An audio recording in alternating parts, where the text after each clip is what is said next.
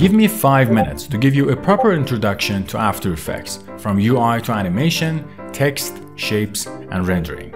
Deal? Let's go. This is the After Effects interface. Top left is the project panel, where you import media. At the bottom you have the timeline panel, where you animate, composition panel at the center where you see your animation, effects and presets, preview, and toolbar are at the top. This is your animation toolkit. Alright, now let's start using it. Animation in After Effects is all about keyframes. You set values at different points in time, and After Effects fills in the motion. To animate position, select the layer, hit P, click the stopwatch, move forward in time, and change the position. Done. It works the same for all the other properties. Now, make it smooth with the graph editor. Click the graph icon, select your keyframes, and adjust the curve for motion ease in and out. You can also hit F9 to easy ease them. Alright, next is text and character panel. Add text by hitting Ctrl T or Command T, then type whatever you want.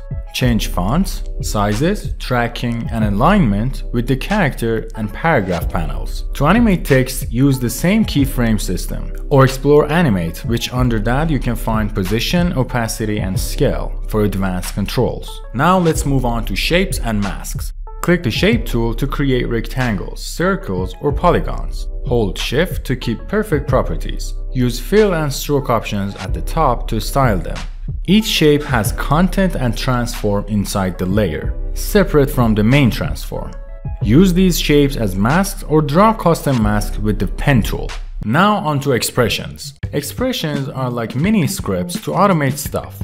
Hold Alt or Option and click stopwatch. Then type an expression. Popular ones are loop out, that loops an animation, wiggle that makes it shake, and time to animate over time. These save hours of manual work, so make sure to use them. Ready to export your masterpiece? Go to Composition, add to Render Queue, or use Media Encoder for better formats.